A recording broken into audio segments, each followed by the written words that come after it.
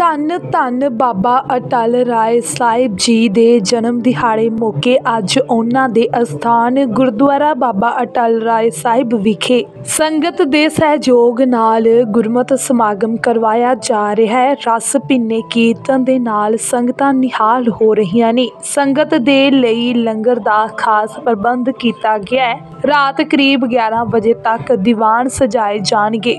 ਇਸ ਗੁਰਮਤਿ ਸਮਾਗਮ ਦੇ ਵਿੱਚ ਪੰਥ ਪ੍ਰਸਿੱਧ ਵੱਖ-ਵੱਖ ਕੀਰਤਨੀ ਜਥੇ ਰਾਗੀ ਢਾਡੀ ਆਉਣਗੇ ਤੇ ਸੰਗਤ ਨੂੰ ਗੁਰ ਇਤਿਹਾਸ ਦੇ ਨਾਲ ਜਾਣੂ ਕਰਵਾਉਣਗੇ।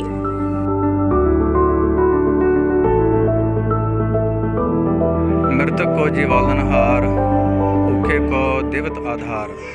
ਧੰਨ ਧੰਨ ਧੰਨ ਜਨ ਆਇਆ, ਜਿਸ ਪ੍ਰਸਾਦ ਸਭ ਜਗਤ ਤਰਾਇਆ। ਗੁਰੂ ਕੀ ਪਿਆਰੀ ਸਾਧ ਸੰਗਤ ਜੀ, ਵਾਹਿਗੁਰੂ ਜੀ ਕਾ ਖਾਲਸਾ, ਵਾਹਿਗੁਰੂ ਜੀ ਕੀ ਫਤਿਹ।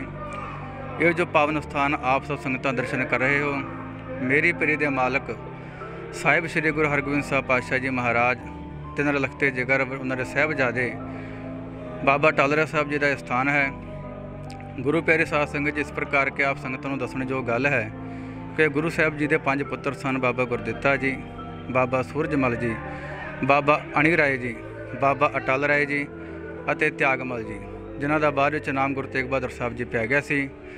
ਤੇ ਜਿਸ ਪ੍ਰਕਾਰ ਕਿ ਆਪ ਸਭ ਸੰਗਤਾਂ ਚੰਗੀ ਤਰ੍ਹਾਂ ਜਾਣਦੇ ਹੋ ਕਿ ਜੇ ਗੁਰੂ ਦੀ ਅੰਸ਼ ਬੰਸ ਤੇ ਗੁਰੂ ਦਾ ਖੂਨ ਹੋਣ ਦੇ ਕਰਕੇ ਬਾਬਾ ਟਾਲ ਰਾਏ ਸਾਹਿਬ ਜੀ, ਜੋ ਕਿ ਆਪਣੇ ਜਨਮ ਅਵਸਥਾ ਤੋਂ ਹੀ ਭਗਤੀ ਦੀ ਸ਼ਕਤੀ ਦੇ ਮਾਲਕ ਸਨ ਅਤੇ ਜਿਹੜੀ ਗੱਲ ਉਹ ਕਹਿ ਰਹਿੰਦੇ ਸਨ ਸੰਗਤ ਦੇ ਵਿੱਚ, ਉਹ ਗੱਲ ਪੂਰੀ ਹੋ ਜਾਂਦੀ ਸੀ। ਇਸ ਪ੍ਰਕਾਰ ਸੰਗਤਾਂ ਨੇ ਉਹਨਾਂ ਦਾ ਬਚਪਨ ਤੋਂ ਹੀ ਨਾਮ ਬਾਬਾ ਜੀ ਉਹਨਾਂ ਨੇ ਕਹਿਣਾ ਸ਼ੁਰੂ ਕਰ ਦਿੱਤਾ ਸੀ। ਤੇ ਜੋ ਗੱਲ ਇਹ ਹੈ ਕਿ ਇਹ ਜੋ ਸਥਾਨ ਹੈ, ਇਹ ਉਹਨਾਂ ਦੀ ਯਾਦ ਵਿੱਚ ਹੀ ਬਣਾਇਆ ਗਿਆ ਹੈ। ਬਾਬਾ ਟਾਲਰੇ ਸਾਹਿਬ ਜੀ ਆਪਣੇ ਸਾਥੀਆਂ ਦੇ ਨਾਲ ਇੱਥੇ ਖੇਡਿਆ ਕਰਦੇ ਸਨ।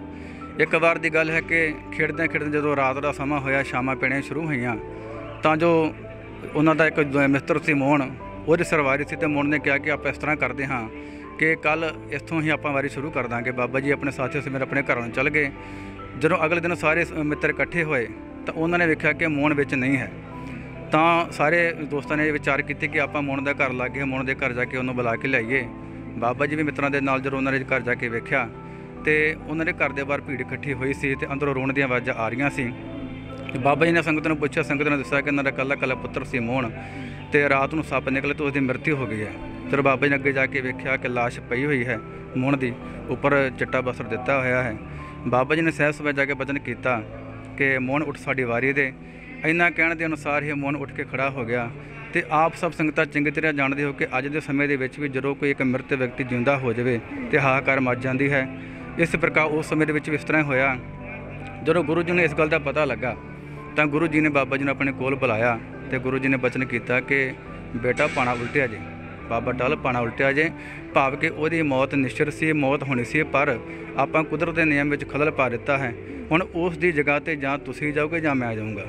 ਤਾਂ ਬਾਬਾ ਜੀ ਨੇ ਕਿਹਾ ਕਿ ਨਹੀਂ ਪਿਤਾ ਜੀ ਹੁਣ ਜੇ ਗਲਤੀ ਮੇਰੇ ਕੋਲ ਹੋਈ ਹੈ ਤਾਂ ਮੈਂ ਹੀ ਇਸ ਆਪਣਾ ਸਰੀਰ ਛੱਡ ਕੇ ਜਾਊਂਗਾ। ਤਾਂ ਬਾਬਾ ਜੀ ਨੇ ਇਸ ਸਥਾਨ ਤੇ ਆਣ ਕੇ ਇਸ਼ਨਾਨ ਕੀਤਾ, ਜਪਜੀ ਸਾਹਿਬ ਦਾ ਪਾਠ ਕੀਤਾ ਤੇ ਗੁਰੂ ਨਾਨਕ ਸਾਹਿਬ ਜੀ ਦਾ ਨਾਮ ਲੈ ਕਰਕੇ ਉਹਨਾਂ ਨੇ ਜਦੋਂ ਲੇਟ ਕੇ ਆਪਣੇ ਉੱਪਰ ਚਾਦਰ ਲਈ ਤੇ ਆਪਣਾ ਸਰੀਰ ਤਿਆਗ ਦਿੱਤਾ। ਫਿਰ ਉਹਨਾਂ ਦੀ ਯਾਦ ਵਿੱਚ ਜਦੋਂ ਕੁਝ ਸਮਾਂ ਪਿਆ, ਬਾਬਾ ਜੀ ਨੇ ਜਦੋਂ ਗੁਰੂ ਸਾਹਿਬ ਜੀ ਨੇ ਉਹਨਾਂ ਨੂੰ- ਉਹਨਾਂ ਨੂੰ ਪੰਜ ਵਰ ਵੀ ਦਿੱਤੇ ਕਿ ਧੰਨ ਧੰਨ ਬਾਬਾ ਟਲ ਤੇ ਰੁੱਚੇ ਮਹਲ, ਇਸ ਪ੍ਰਕਾਰ ਨਾਲ ਗੁਰੂ ਜੀ ਨੇ ਉਹਨਾਂ ਨੂੰ ਪੰਜ ਵਰ ਦਿੱਤੇ। ਫਿਰ ਸੰਗਤ ਨੇ ਸਮਾਂ ਪਾ ਕੇ ਸਨ 1778 ਦੇ ਵਿੱਚ ਜੋ ਗੁਰੂ ਸਾਹਿਬ ਜੀ ਦੇ ਵਚਨ, ਉਹ ਸਿੱਧ ਹੋਣੇ ਸੀ, ਕਿਉਂਕਿ ਜਿਹੜੇ ਗੁਰੂ ਸਾਹਿਬ ਨੇ ਵਰ ਦਿੱਤੇ ਸੀ, ਉਹ ਸਮੇਂ ਪਾ ਕੇ ਉਹਨਾਂ ਨੇ ਪ੍ਰਗਟ ਹੋਣਾ ਸੀ। ਇਸ ਸਥਾਨ ਤੇ ਸਨ 1778 ਦੇ ਵਿੱਚ ਸਰਦਾਰ ਜੱਸਾ ਸਿੰਘ ਰਾਮਗੜੀਆ ਤੇ ਸਰਦਾਰ ਜੋਤ ਸਿੰਘ ਜੀ ਨੇ ਤਿੰਨ ਮੰਜ਼ਲਾਂ ਦਾ ਨਿਰਮਾਣ ਕਰਵਾਇਆ।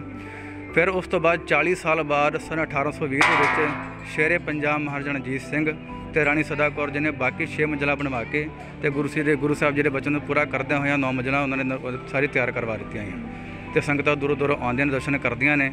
ਤੇ ਗੁਰੂ ਪਿਆਰੇ, ਮੈਂ ਤੁਹਾਨੂੰ ਇੱਕ ਗੱਲ ਦੱਸਾਂ ਕਿ ਜਦੋਂ ਗੁਰੂ ਸਾਹਿਬ ਜੀ ਦੇ ਜਦੋਂ ਤਿੰਨ ਪੁੱਤਰ ਹੋਏ ਸੀ, ਚੌਥੇ ਸੀ ਬਾਬਾ ਟਲ ਰਾਏ ਸਾਹਿਬ ਜੀ, ਗੁਰਦੁਆਰਾ ਗੁਰੂ ਕੇ ਮਹਿਲ, ਜੋ ਇਹਨਾਂ ਦੇ ਨਿਵਾਸ ਸਥਾਨ ਮਹਿਲ ਸਨ, ਬਾਬਾ ਟਲ ਰਾਏ ਸਾਹਿਬ ਜੀ ਦਾ ਜਨਮ ਸਨ 1676 ਦੇ ਵਿੱਚ ਉਸ ਸਥਾਨ ਤੇ ਹੋਇਆ।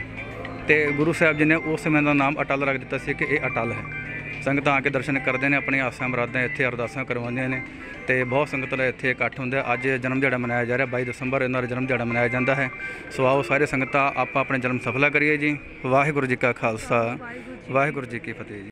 ਦੇਸ਼ ਵਿਦੇਸ਼ ਤੇ ਦੂਰ ਦਰਾਡੇ ਸੁਣ ਰਹੀਆਂ ਸਾਰੀਆਂ ਸੰਗਤਾਂ ਨੂੰ ਦਾਸ ਵੱਲੋਂ ਡਾਕਟਰ ਧਰਮਜੀਤ ਸਿੰਘ ਚਰਨ ਸੇਵਕ, ਬ੍ਰਹਮਲੀਨ ਬ੍ਰਹਮ ਗਿਆਨੀ ਸੰਤ ਬਾਬਾ ਅਜੀਤ ਸਿੰਘ ਦੀ ਹੰਸਾਲੀ ਵਾਲੇ ਉਹਨਾਂ ਵੱਲੋਂ ਦਾਸ ਬੋਲ ਰਿਹਾ ਹੈ।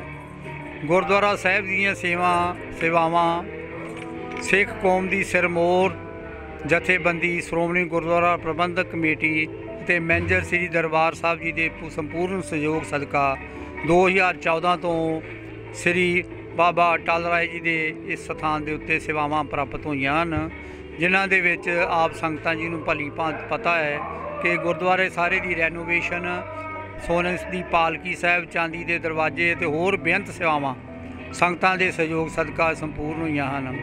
ਅੱਜ ਦਾ ਦਿਹਾੜਾ ਸ੍ਰੀ ਮੀਰੀ ਪੀਰੀ ਦੇ ਮਾਲਕ ਸਾਹਿਬ ਸ੍ਰੀ ਗੁਰੂ ਹਰਗੋਬਿੰਦ ਸਾਹਿਬ ਜੀ ਦੇ ਲਖਤੇ ਜਿਗਰ ਬਾਬਾ ਅਟਲ ਰਾਏ ਜੀ ਦਾ ਮਨਾਇਆ ਜਾ ਰਿਹਾ, ਜਿਹੜੇ ਹਰ ਸਾਲ ਇਹ ਦੋ ਦਿਹਾੜੇ ਬਾਬਾ ਜੀ ਦਾ ਸੱਚਖੰਡ ਪਿਆਨਾ ਦਿਵਸ ਅਤੇ ਬਾਬਾ ਜੀ ਦਾ ਪ੍ਰਕਾਸ਼ ਪੁਰਬ। ਇੱਥੇ ਇਲਾਕੇ ਦੀਆਂ ਸੰਗਤਾਂ ਸੋਮਣੀ ਗੁਰਦੁਆਰਾ ਪ੍ਰਬੰਧਕ ਕਮੇਟੀ ਦੇ ਮੈਨੇਜਰ ਸ੍ਰੀ ਦਰਬਾਰ ਸਾਹਿਬ ਜੀ ਦੀ ਸਹਿਯੋਗ ਸਦਕਾ ਮਨਾਏ ਜਾਂਦੇ ਨੇ, ਜਿਹਦੇ ਵਿੱਚ ਪਹਿਲਾਂ ਸ੍ਰੀ ਅਖੰਡ ਪਾਠ ਸ੍ਰੀ ਸਾਹਿਬ ਜੀ ਦੇ ਭੋਗ ਪਾਏ ਗਏ ਹਨ ਸਵੇਰ ਵੇਲੇ, ਤੇ ਹੁਣ ਤੋਂ ਕੀਰਤਨ ਸਾਰੀ ਹੈ, ਜਿਹੜਾ ਸਾਰਾ ਦਿਨ ਕੀਰਤਨ ਲਗਾਤਾਰ ਚੱਲੇਗਾ ਅਤੇ ਰਾਤ ਨੂੰ 12 ਵਜੇ ਦੇ ਕਰੀਬ ਹੋਰ ਪ- ਪੰਥ ਦੇ ਪ੍ਰਸਿੱਧ ਰਾਗੀ ਢਾਡੀ ਸ- ਇੱਥੇ ਸੰਗਤਾਂ ਦੇ ਦਰਸ਼ਨ ਦਿਦਾਰੇ ਕਰਨਗੇ ਤੇ ਸੰਗਤਾਂ ਨੂੰ ਮਨੋਰ ਕੀਰਤਨ ਦੁਆਰਾ ਨਿਹਾਲ ਕਰਨਗੇ। ਤੇ ਮੈਂ ਦੁਬਾਰਾ ਤੋਂ ਸਾਰੀਆਂ ਸੰਗਤਾਂ ਨੂੰ, ਇਲਾਕੇ ਦੀਆਂ ਨੂੰ ਤੇ ਲਾਗੇ ਚਾਗੇ ਦੇ ਪਿੰਡਾਂ ਦੀਆਂ ਨੂੰ ਬੇਨਤੀ ਕਰਦਾ ਕਿ ਵੱਧ ਤੋਂ ਵੱਧ ਸ੍ਰੀ ਬਾਬਾ ਅਟਲ ਰਾਏ ਸਾਹਿਬ ਜੀ ਵਿਖੇ ਆ ਕੇ ਦਰਸ਼ਨ ਦਿਦਾਰੇ ਬਖਸ਼ਿਆ ਕਰੋ।